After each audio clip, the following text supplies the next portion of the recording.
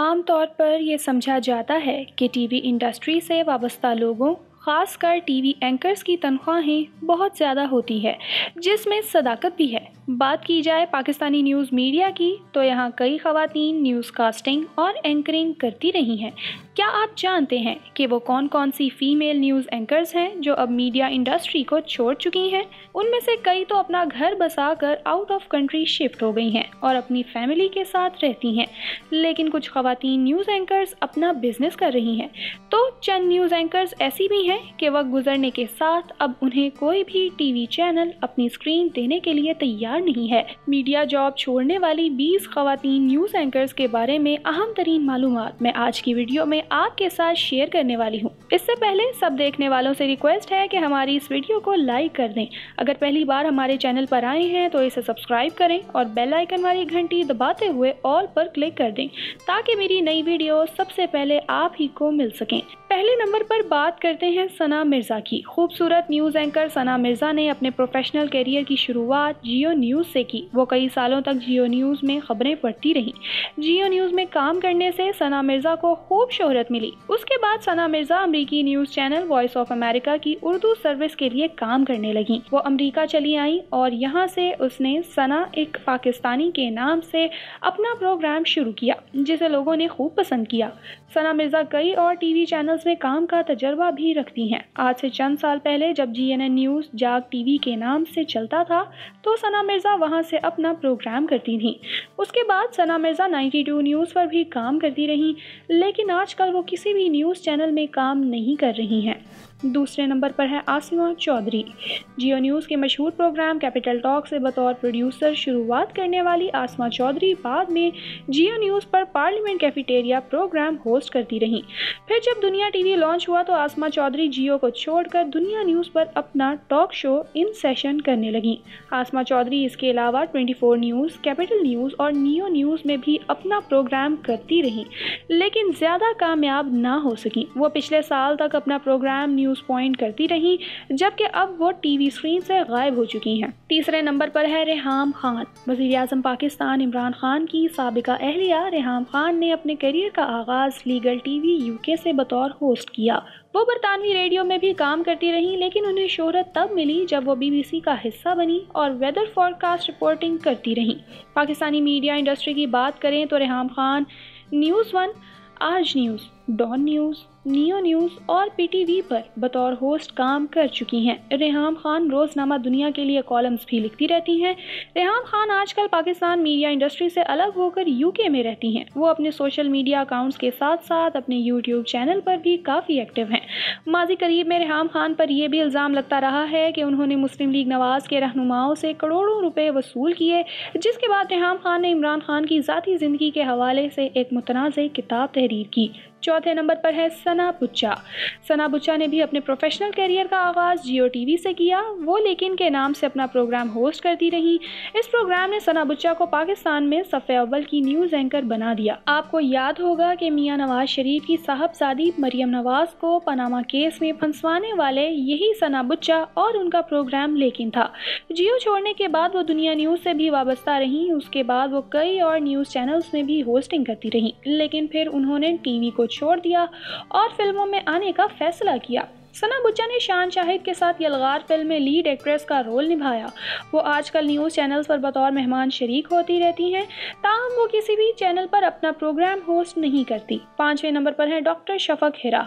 सरकारी television PTV की programme host doctor Shafaq Hira कई सालों तक मीडिया में काम करती रहीं। Doctor Shafaq Hera PTV News पर कैपिटल व्यू के नाम से अपना प्रोग्राम करती थी, जिसमें उनके साथ डॉक्टर फरूख पताफी भी शरीक होते। आपको याद होगा कि पाकिस्तान मुस्लिम लीग नवाज़ के एमएनए और सबक वज़ीर रेलवे। ख्वाजा साद रफीक ने पहली बार 2018 के इलेक्शन में अपने नॉमिनेशन पेपर्स में अपनी दूसरी शादी का एतराफ़ किया था। उन्होंने डॉक्टर शफक हेरा से अपनी शादी को खुफिया रखा हुआ था। कहा जाता है कि जब जिमनी इलेक्शन 2018 में साद रफीक हुमायूं अख्तर खान को शिकस्त देकर एमएनए बने तो डॉक्टर शफक हिरा सरकारी टीवी पर मिठाई के डब्बे साथ लाई और उन्होंने तमाम स्टाफ को मिठाई खिलाई। आजकल शफक हिरा पाकिस्तानी मीडिया से गायब हैं। छठे नंबर पर आपको जियो न्यूज़ से पहचान बनाने वाली खूबरू न्यूज़ कास्टर राबिया अनम के बारे में बताते हैं। वो अपनी शरारती, चुलबुले और मुनफरद स्टाइल की वजह से पाकिस्तानी अवाम को खूब पसंद आई। न्यूज़ कास्टिंग से अपनी पहचान बनाने के बाद राबिया अनम ने जियो पर ही लेकिन के नाम से प्रोग्राम किया।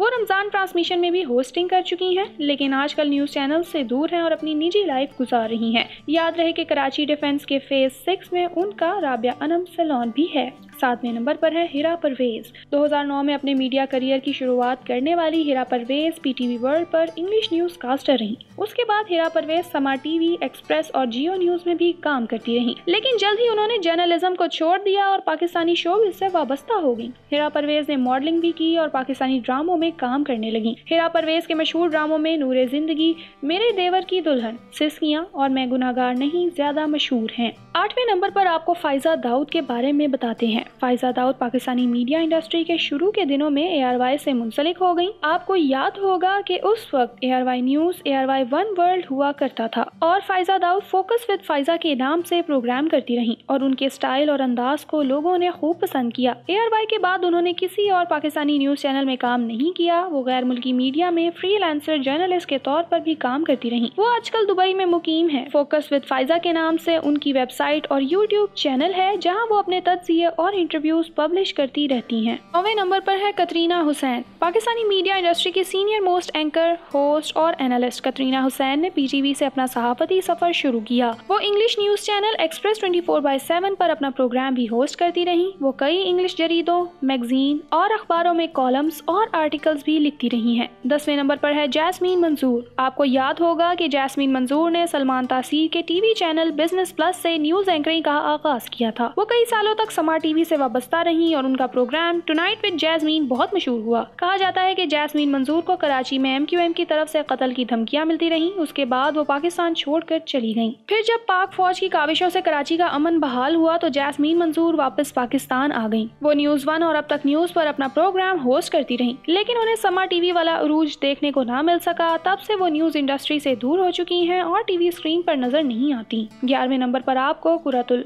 हसन के बारे में बताते हैं। कई सालों तक एयर वाई न्यूज़ पर खबरें पढ़ने वाली कुरतुल एन हसन, मशहूर न्यूज़ एंकर इकरारुल हसन की अहलिया है। वो भी आजकल न्यूज़ इंडस्ट्री से दूर हैं। बारहवें नंबर पर एक और न्यूज़ एंकर, महरीन सप्तान की बात करते हैं। महरीन सप्तान ने एक्सप्रेस न्यूज़ से बतौर न्यूज़ कास्टर अपने करियर को शुरू किया। वो दुनिया टीवी के एक प्रोग्राम में को होस्ट भी रही। वो समा टीवी के अलावा 92 न्यूज़ पर भी अपना प्रोग्राम होस्ट करती रही। उनका programme The Last Hour fail साबित हुआ तो उन्होंने मीडिया इंडस्ट्री को क्विट कर दिया। वो इस वक्त किसी भी न्यूज़ चैनल से वाबस्ता नहीं है। तेरहवें नंबर पर है पारस जहांजेब। समा टीवी पर कई सालों तक न्यूज़ बीट के नाम से प्रोग्राम करने वाली पारस जहांजेब अपने दबंग लबो लहजे और जहानत की वजह से खूब शोहरत रखती हैं। उनके टॉक शो में जब सियासतदान एक दूसरे से झगड़ते और गालम गलोच करने लगते तो पारस जहांजेब कमाल दलेरी से सब कुछ टैकल कर लेती थी। वो आजकल पाकिस्तानी मीडिया से दूर हो चुकी हैं और कनाडा में शिफ्ट हो गई हैं। चौथे नंबर पर आयला मलिक के बारे में आपको बताते हैं। नवाब ऑफ़ कालाबाग के खानदान से ताल्लुक रखने वाली आयला मलिक वैसे तो एक सियासतदान है, जो एम एन ए भी रह चुकी है। आयला मलिक कई वर्षों तक मीडिया इंडस्ट्री का हिस्सा रही। आयला मलिक पाकिस्तानी मीडिया इंडस्ट्री के शुरू के दिनों में दुनिया टीवी पर सिचुएशन रूम के नाम से प्रोग्राम भी होस्ट करती रही। आयला मलिक ने अपने प्रोग्राम में इमरान खान का इंटरव्यू भी किया था। उनके प्रोग्राम्स आज भी दुनिया टीवी की वेबसाइट और यूट्यूब पर मौजूद हैं। पंद्रहवें नंबर पर है सना तारिक। सना तारिक भी जियो न्यूज़ से मशहूर हुई।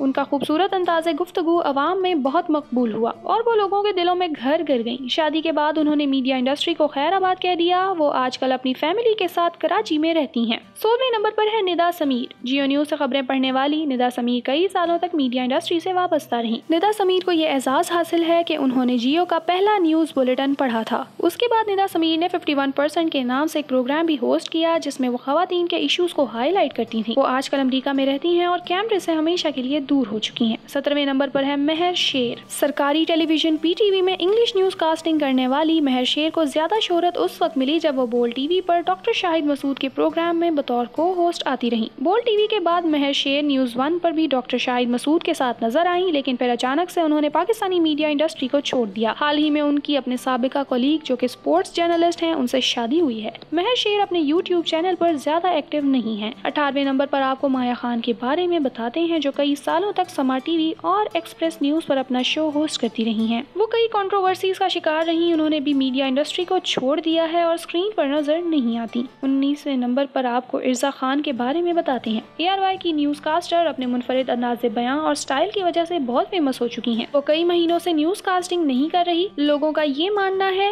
कि वो शायद मीडिया इंडस्ट्री छोड़ चुकी हैं। वाजिया रहे कि इर्जा खान की कुछ अरसे पहले शादी हुई थी और वो अपनी फैमिली के साथ वक्त बिता रही हैं। ये भी हो सकता है कि कुछ अरसे तक वो दोबारा ए आर वाई न्यूज़ पर नज़र आए और आखिर में बीसवें नंबर पर मॉर्निंग शो की मकबूल तरीन होस्ट डॉक्टर शाइस्ता लोधी का ज़िक्र करते हैं ए आर वाई टीवी से शोहरत पाने वाली शाइस्ता लोधी बाद में जियो टीवी से वाबस्ता हुई और कई सालों तक मॉर्निंग शो होस्ट करती नहीं लेकिन फिर स्कैंडल सामने आ जाने और कंट्रोवर्सी के बाद वो पाकिस्तान छोड़कर चली गईं। कुछ साल बाद उनकी वापसी हुई, लेकिन टीवी पर उन्हें पहले वाला उरूज ना मिल सका। वो मीडिया इंडस्ट्री को हमेशा के लिए छोड़ चुकी हैं, अपना क्लिनिक चलाती हैं और इसके अलावा उनका यूट्यूब चैनल भी है। मैं उम्मीद करती हूँ कि ये वीडियो आपको पसंद आई होगी। अगर आप जानना चाहते हैं कि सियासतदानों से शादी करने वाली न्यूज़ एंकर्स कौन सी हैं तो ये वीडियो देखें। हमारी वीडियो को लाइक कर दें इलेक्शन बॉक्स सब्सक्राइब कर लें और हमारी वीडियोस देखते रहें। अल्लाह हाफिज़ो नासिर।